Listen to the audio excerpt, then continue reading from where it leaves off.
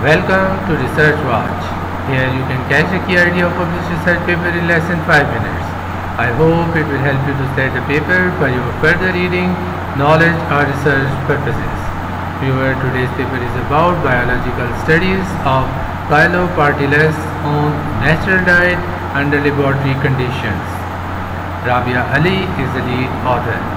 Your Chilo partellus is one of the most devastating species of maize.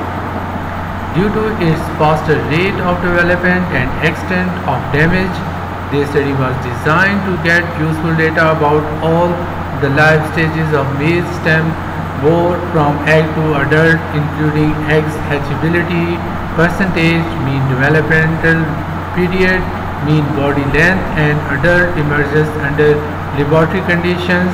On natural maize diet a temperature of 26 plus minus 2 degrees Celsius and 65 plus minus minus 5 percent humidity in Insect Pest Management Program Natural National Agriculture Research Center NARC Islamabad. The study showed that C. partellus took 36 to 41 days with a mean value of 37.75 plus minus 1.98 to complete its life cycle showing its faster rate of development on natural diet under laboratory conditions. This article was published in International Journal of Biosciences in September 2018.